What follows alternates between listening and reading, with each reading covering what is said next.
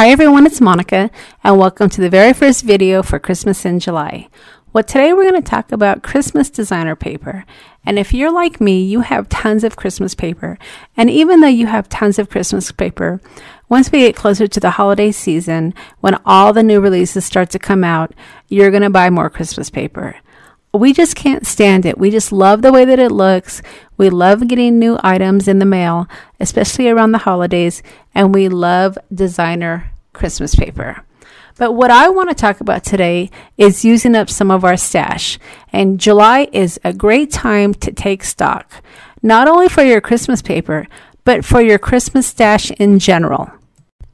And to be honest, many of us aren't ready to start making Christmas cards in July, but July is a great time to take stock. Pull out your Christmas stash, pull out your paper, pull out your stamps, pull out your adhesive. Just take stock of what you have and what you need. Because once we start getting into the holiday season, tons of companies are going to start releasing new product. And you know as well as I do that we're going to want to buy new product. But it's really important that we use what we have, and July is a great time to do that. Now, I love my Christmas designer paper so much that I have a little scrap bag that I keep on my desk that I put some of my scraps in when I'm creating Christmas cards. There's lots of little pieces that many people would probably just throw away, but these create great backgrounds. And that's what we're going to focus on today. We're going to create backgrounds using some of our craft stash, specifically some of our smaller pieces of paper. Now, that's not to say that we can't dive into our Christmas pads because sometimes we need bigger pieces and we may not have a scrap that uh, is is what we uh, need for our background. And there's no reason why you can't pull out some of your Christmas uh, pads and use those as well to create some backgrounds.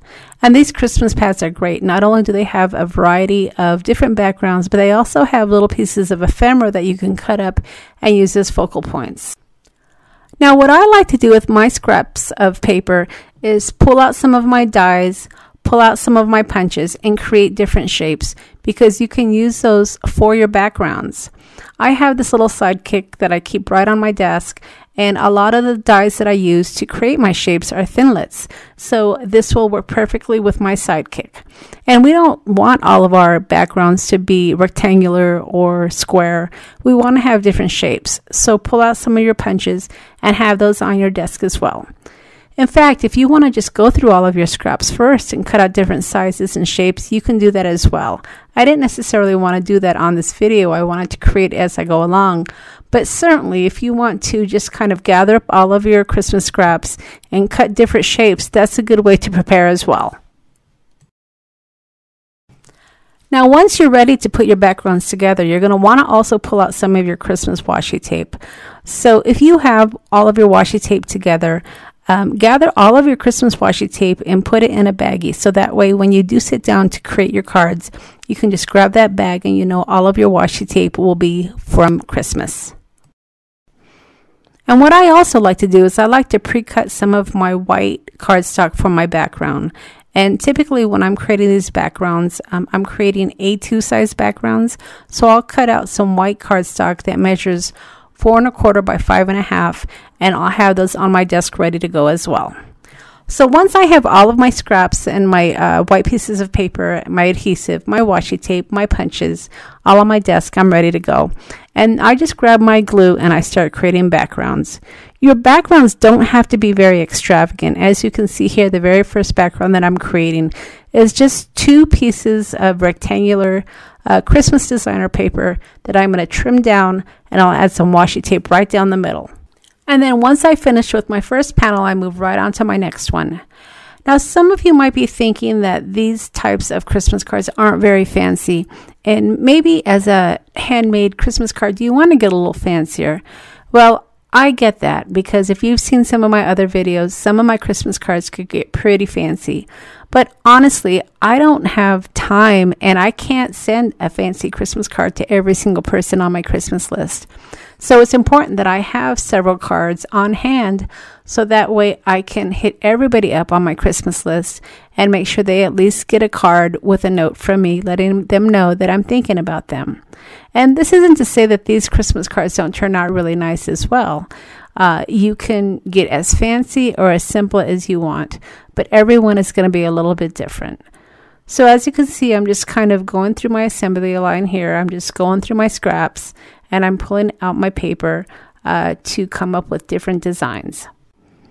Now, if you're the type of crafter that needs a plan going into creating your backgrounds, in other words, you need a specific layout or a specific template in mind to follow, there are tons of those that you can find out on Pinterest.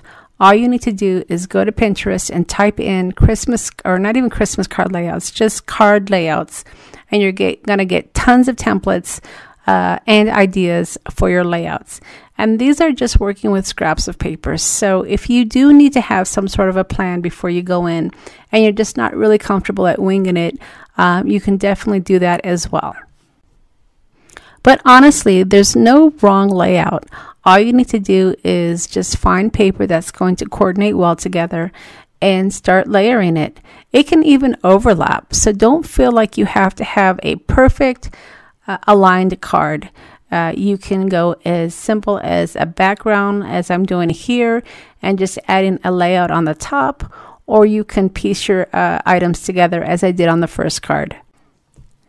Now one thing that you might want to keep in mind when you are doing this type of a design is you don't want to have too many pieces of paper that are too busy um, overlapping because that might get a little bit uh, busy when you're looking at it. So you want your card layout to be somewhat cohesive.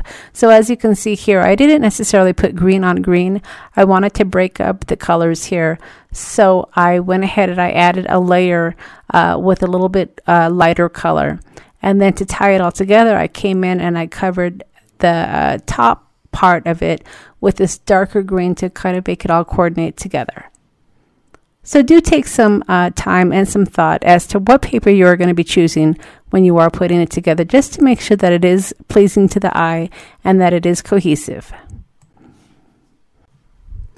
And then uh, once I uh, finished adding my band, I went ahead and I added another piece on top, and then I was ready to put this aside and move on to my next piece. And as you can see, in no time at all, I've already got two backgrounds put together. Okay, so for my next piece, um, I couldn't find a scrap that was large enough for the background, so I did have to dive into my Christmas uh, pad. Now, like I said, there's no harm in actually pulling out new Christmas paper because, of course, this is paper from last year and we want to definitely use some of that before we go out and buy new Christmas paper. So if you have to pull out some of your designer paper and trim it down to work as a card base, certainly do that as well. And again, this is something that you can do ahead of time. If you have uh, pieces of paper that's a little bit larger, cut them down. Um, we're working on a four and a quarter by five and a half piece of paper, so typically my rule of thumb is to trim it down a quarter of an inch on each side. So you can create some layers uh, really easily using that formula. Okay, so for my next piece, I went ahead and I had this rectangular uh, die cut and I cut out a couple of pieces um, with that die. And then I decided to create some banners. Um, and if you've never done this before, it's really easy. All you need to do is find your center point, cut a line right in the middle, and then cut your uh, tails uh, right to that line. And you can easily create some um, nice little banners. And when I am adding two banners to the tops of my cards, I typically will stagger them and have one shorter than the other. And that way, when they're overlaying, they create some interest. And um, I could have easily used the same pattern paper, but I decided to have some contrast. So don't be afraid to mix and max, uh, mix and match your backgrounds. All right, now when you are putting these backgrounds together, sometimes you just want to stamp a sentiment, and a sentiment may not show up very well on designer cardstock. So you're going to want to definitely cut some uh, of your white paper as well on some of these nice uh, dies. So pull out some of your white paper and cut out some uh, pieces where you can easily stamp some sentiments. And you can do this on, uh, like I said, on die cuts. You can do these on circles. You just want to make sure that you have a nice surface so that way you can stamp some sentiments. And in no time at all, as you can see, now I have three backgrounds ready to go. Now, I'm going a lot slower than I typically would. Ordinarily, I would have about two or three pieces of white card stuck out, and I would just start gluing uh, paper down and creating designs. But for the video, I did want to go ahead and just do one at a time. But keep in mind, you can create these in no time at all. And when you are going through your paper stash, if you do have uh, words or sentiments like this St. Nicholas here, you know, use those to your advantage. Um, I ended up cutting this down and then I added a Santa Claus um, as my focal point, and it turned out really great. So when you are going through your stash, if you can cut it down to create specific uh, types of theme cards, uh, take advantage of that as well. Now, up to this point, I have really been going off of specific layouts and designs. I've been somewhat strategic when I've put my cardstock together, and I haven't been real uh, hodgepodge. But for the last card, I want to go ahead and show you what I do with some of my scraps when I don't necessarily have any designs in mind. And this is just layering backgrounds, creating kind of like a quilt effect. So that's what we're going to do next. I would I would be remiss if I didn't show you that because that is something again that you can do really easily and create some great backgrounds.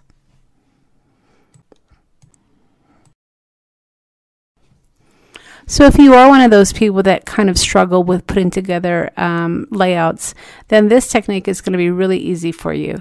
Like I said, the first four cards that we put together, I put together some sort of a pattern. But for this last background, all we're going to do is just going to create somewhat of a quilt effect, and we're just going to cover our white cardstock to create some nice backgrounds. And you can do this um, in lieu of creating patterns because all you're doing is creating um, backgrounds. So if you wanted to start out with a bigger piece of paper, say you wanted to start out with a eight and a half by 11 piece of paper, you can easily cover that piece of paper kind of like a quilt and then cut it down. But for mine, what I ended up doing is just starting out with a white piece of paper um, and I'm going to cover that. So as I put this background together, I wanted to talk to you a little bit about my Christmas in July series. So my plan is to put out several Christmas videos this month. Um, and I don't necessarily have a schedule, so you're going to just have to make sure that you are subscribed to my channel and that you um, have clicked on the little bell so that way you're notified whenever a new video comes out. And I'm going to be doing several uh, giveaways. Um, my plan is to just randomly pick some of the commenters throughout the month, and then at the end of the month, I'm going to have a list of all the people that have won something from my Christmas in July series. So, in order to qualify to win, you're going to want to make sure that you are subscribed to the channel and that you do leave a comment on every video, and that will increase your chances of winning something.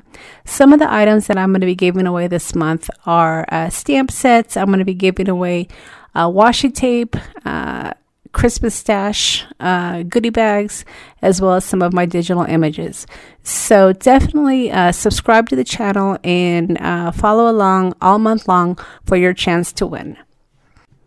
Now, I do have a special treat for you as well. On July the 11th, I am going to be participating in a video hop with several other crafters where we're going to be creating some Christmas projects for you. Uh, so, this will give you an opportunity to uh, meet up uh, with some other crafters and get some more ideas and inspiration for your Christmas uh, Christmas creations. During the week of the video hop, I won't be putting out any extra videos, so that way it'll give you an opportunity to hop along and check out some of the other crafters. Also, all of the projects that I create during my Christmas in July series will end up in my shop. So if you haven't visited my shop yet, be sure to check out taylormadecards4u.com. And as a special treat, I will be having a sale on all of my digital digital items during the month of July um, and those will be 50% off. So if you do like to work with digital images, this is a great time to stock up. And I'm going to have uh, several Christmas sets available, as well as a new set that I'm currently working on. So as you can see, it's going to be a jam-packed month. Uh, and it's going to be lots of fun. So I hope that you've enjoyed my very first video for my Christmas in July series, and this is going to give you a good jump start to putting together some of your Christmas cards. Be sure to stick around to the end of the video because I'm going to be sharing with you some of the uh, finished cards that I created uh, using these backgrounds. And um, again, if you haven't subscribed to my channel, don't forget to hit that subscribe button and hit that little bell so you'll be notified on the next video. And if you've enjoyed the video, I would sure appreciate a thumbs up. All right, everybody. Thanks so much for stopping by, and we'll see you again next time.